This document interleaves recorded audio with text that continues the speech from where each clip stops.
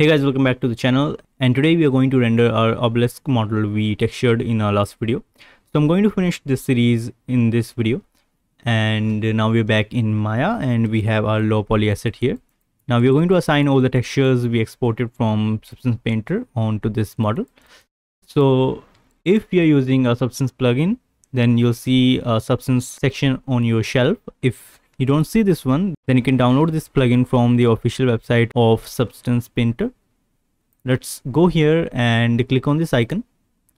Click on this select multiple maps. And let's go to the folder where we have our textures. So we exported in source images. Now select all these textures. And not all of them are going to be assigned automatically as you can see that our AO is not here so we have to go back to this folder and select manually our AO and now apply. Select this model right click and in the existing material you'll see this uh, AI standard surface 1 and assign this material here.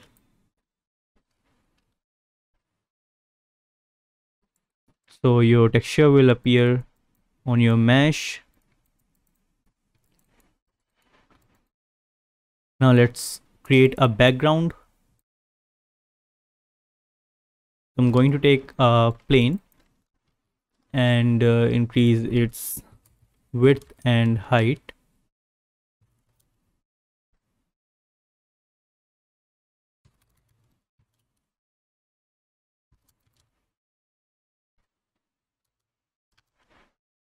Like this. And uh, extrude this edge and bevel this one.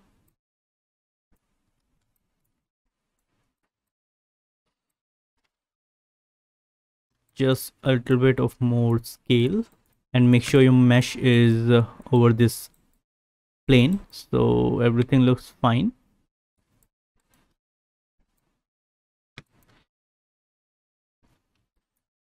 so as you can see that we have some clipping issues i'm going to go to my outliner and in the perspective camera select this go to attribute editor and let's increase the far clip plane to fix this. And we are good. So now let's create a camera. So go to create camera and select this. Now to assign your view just go to panel and uh, click on this look through selected you have to select this option while you have selected your camera. And now you're looking through the camera. So just take a view which you want to render. This looks fine. And just enable your resolution gate. Go to your render settings and let's keep this resolution 1k square for now so i'm just going to go to my outliner select my camera look through selected.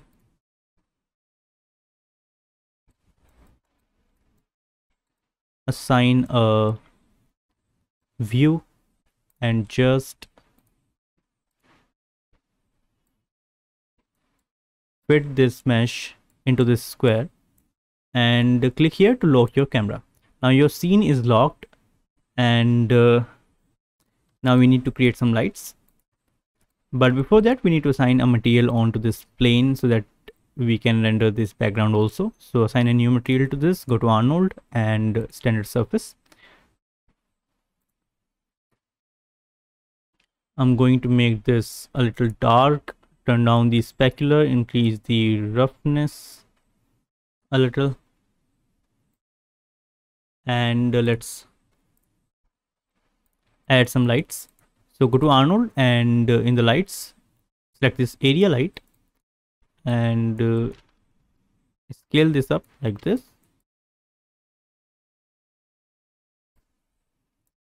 And rotate.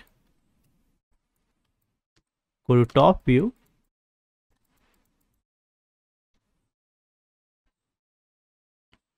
Place this light here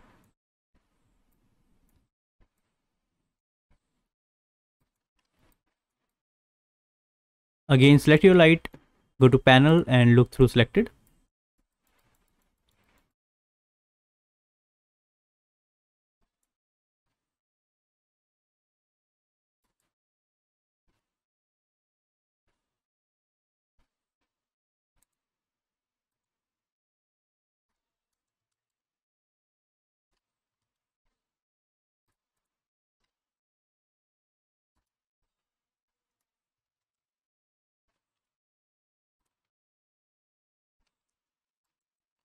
So just make sure your object is in the view like this. So this looks fine.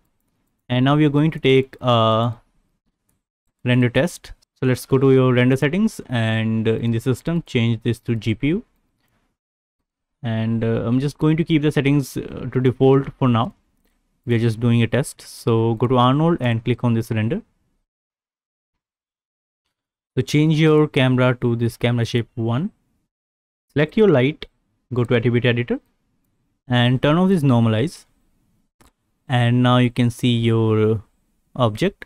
I'm going to increase the exposure a little.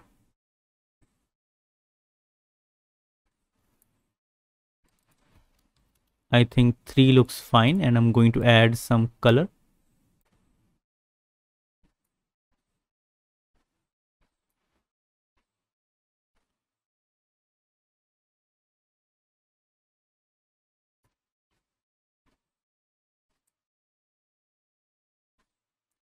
so this looks nice. Now i'm going to add a few more lights. So let's stop the render and uh, add some more lights. So i'm going to go to arnold again light and area light. Again increase the scale pull this up bring it here go to top view. And uh, rotate this light like this place this one here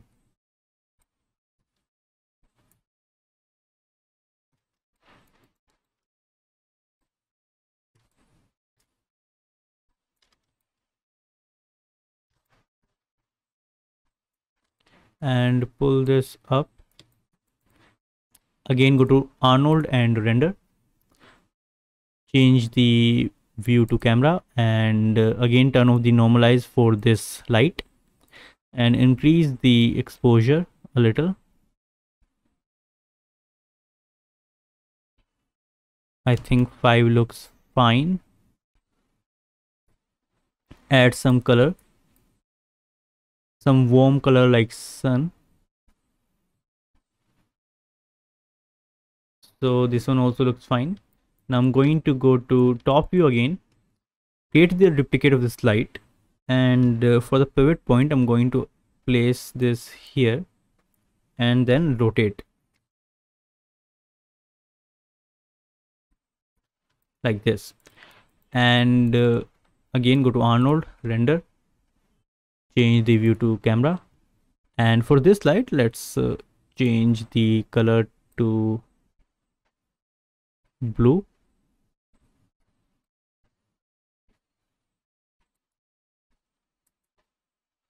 Something like this. And uh, let's turn down the exposure a little. 3 should be fine. And as for the plane you can change the color of it. So just go to the material and I'm going to make it a little bit more darker like this.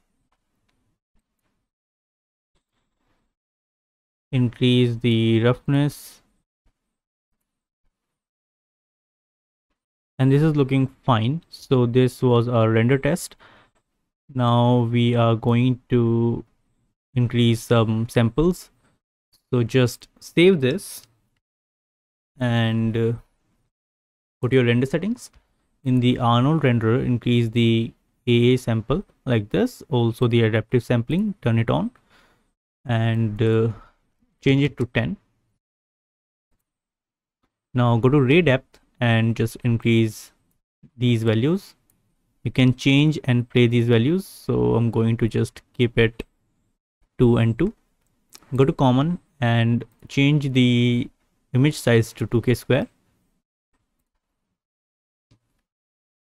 So let's go to arnold and click on this render. Again change the camera view. And since we changed a lot of settings it's going to take few minutes to render but that totally depends on your pc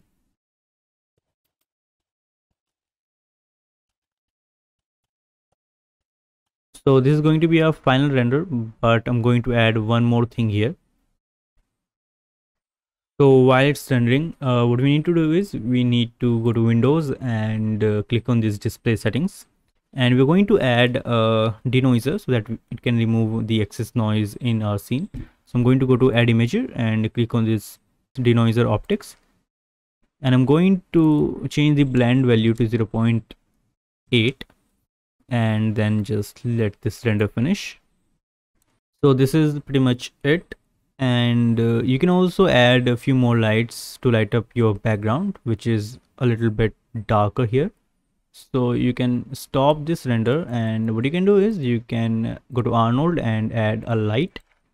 Scale this up and put it behind your asset like this and pull this up now go to your attribute editor and turn off normalize.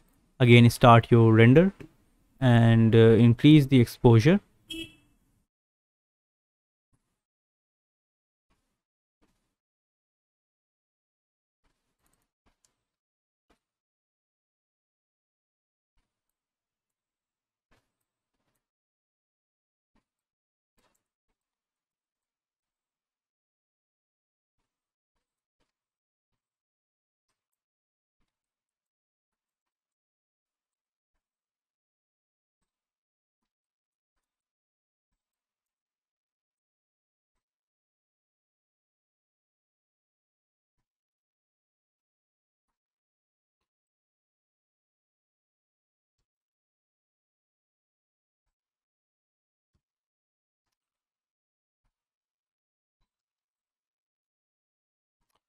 something like this.